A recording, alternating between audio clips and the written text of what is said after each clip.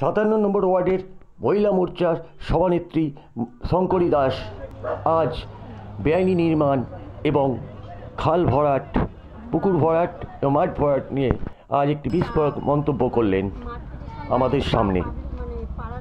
উনি জানালেন আমাদেরকে আজকে যে ওনারা উচ্চতর নেতৃত্বকে জানাবেন, প্রশাসনকে জানাবেন এবং পরে ওনারা বৃহত্তর আন্দোলনের পথে যাবেন। আসুন। দেখতে থাকুন সংবাদ পরিবর্তন। অবাস্তব নয়। বাস্তব জিনিস আপনাদের সামনে প্রতিদিন তুলে ধরা হবে। চোখ রাখুন সংবাদ পরিবর্তনে। রিপোর্টিং সত্যেন সরকার। সবাইকে জানিয়ে তারপরে যা কিছু ওনারা তোমার নাম?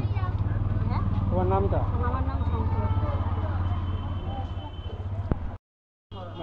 প্রেসের সামনে তোমরা বিবৃতি রাখছো। কি বলতে আছে তোমাদের বক্তব্যটা কি? তোমাদের অভিযোগটা কি?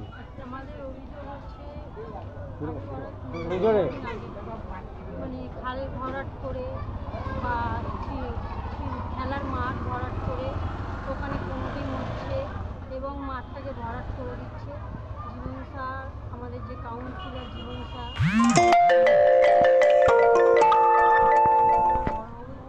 যে আছে মাস্টার আলী ওর নির্দেশে এইগুলোই হচ্ছে। আপনার প্রশাসন কেন? খেলার মাঠ মানে হাইকোর্ট এই সুপ্রিম কোর্ট থেকে অর্ডার আছে যে কোনোদিন খেলার মাঠ বলো আর পুকুর ভরাট বলো কোনোদিন না। আমরা চাই বাচ্চাদের খেলার মাঠ বাচ্চারা ফিরে পাক। আর বাচ্চাদের পুকুর মানে সাতান্ন নম্বর ওয়ার্ডের মানুষজনরা যে স্নান স্নান বলো কাঁচা ধোয়া বলো পুকুরে গিয়ে পড়ে সেইটা যেন ফিরে পাক। আচ্ছা তোমরা তোমরা কি পুলিশ প্রশাসনকে জানিয়েছিলে? আমরা পুলিশ প্রশাসনকে অনেকবার জানানো হয়েছে, অনেক কিছু হয়েছে। আমার দাদাই খেলার মাঠ নিয়ে, আমার দাদা আজকে জেল খাটছে। তো এই খেলার মাঠটাই নিয়ে মেন প্রবলেম জীবন স্যার। খেলার মাঠটা নিয়ে আমাদের কাউন্সিলর জীবন স্যার, তার নির্দেশে এটা। আর সেই মানে খেলার মাঠটাকে যখন আমার দাদা জয়দেব দাস প্রতিবাদ করতে তাকে আজকে মানে কেস হাসিয়েছে আমিও চাইছি জীবন স্যারকে একটাই কথা বলতে, এরকম করে মানে প্রতিবাদ করতে গেলে কি আমাকেও তাহলে ফাঁসতে হবে? তাহলে আমি চ্যালেঞ্জ করছি জীবন স্যারকে যেন, যে আমাকে ফাঁসে। যদি ওনার কোনো কিছু বক্তব্য থাকে, ওনার কিছু বলার থাকে, উনি ডাইরেক্টলি ডাইরেক্ট কথা বলুন মানুষের সাথে।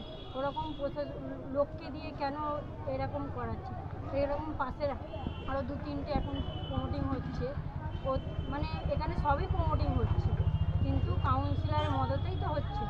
শ্রীজীবন স্যার সবই তো জানে যে হচ্ছে প্রমোটিং কিসের জন্য হচ্ছে।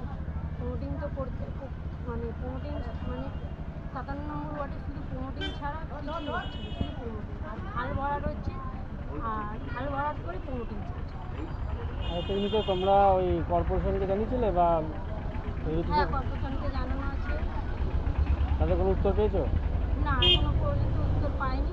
কর্পোরেশনকে জানানো হয়েছে এবং কর্পোরেশনকে জানানো হয়েছিল একবার যখন, তখন আমার জয়দেব মানে দাদা ছিল আমার, দাদা থাকাকালীন এসেছিল কর্পোরেশন।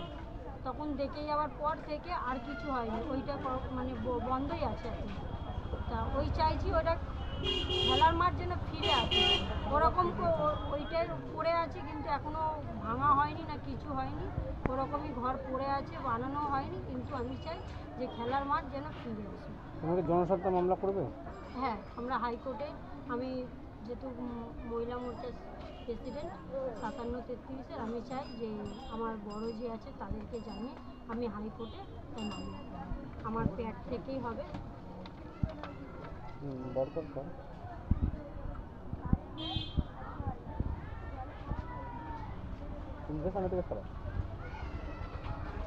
তা কোন জমিটার উপর তোমাদের অভিযোগ এই যে এই পুকুরটা ভরাট করা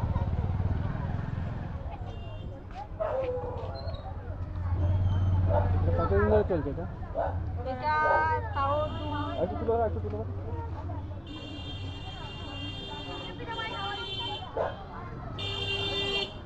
হুম। কতদিন ধরে চলছে